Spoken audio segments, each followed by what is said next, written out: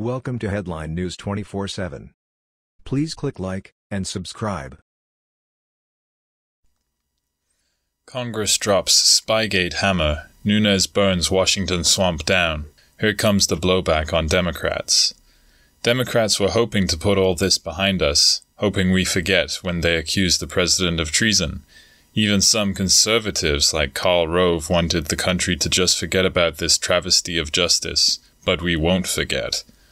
Trump and his allies in Congress will do no such thing. In fact, they have every intention of holding the DOJ accountable. And they're starting now. From Breitbart. House Intelligence Committee ranking member Devin Nunes is sending a criminal referral to the Justice Department that will detail leaking classified information as part of his investigation into misconduct at the Justice Department and the FBI. Now that's what I'm talking about. Congressman Devin Nunes is going to get to the bottom of the leaks and other acts of misconduct that have gone on in the DOJ and FBI. Nunes called out the Russian probe, saying Trump and his allies knew it was a joke of an investigation from the beginning. He plans on interviewing about 50 people who were responsible for pushing the fake dossier as evidence to launch the witch hunt. This unverified and now debunked document was used as evidence to secure surveillance warrants. It was cited by former FBI Director James Comey as his reason to launch the probe in the first place. Something that was created by the Democrats that had no credible evidence was used to go after the Trump campaign and administration.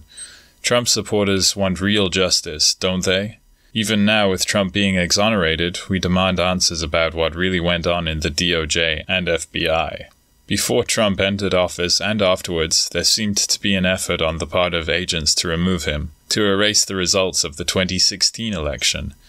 We are done with Democrats framing Republicans while liberals get away with everything. Comey, Strzok, Lynch, and perhaps even Hillary Clinton must be put on the stand. We can't let their schemes, which could have destroyed our democracy, slip away into memory. That was the news. We thought you might be interested in knowing about this. Please click like and subscribe. Thank you.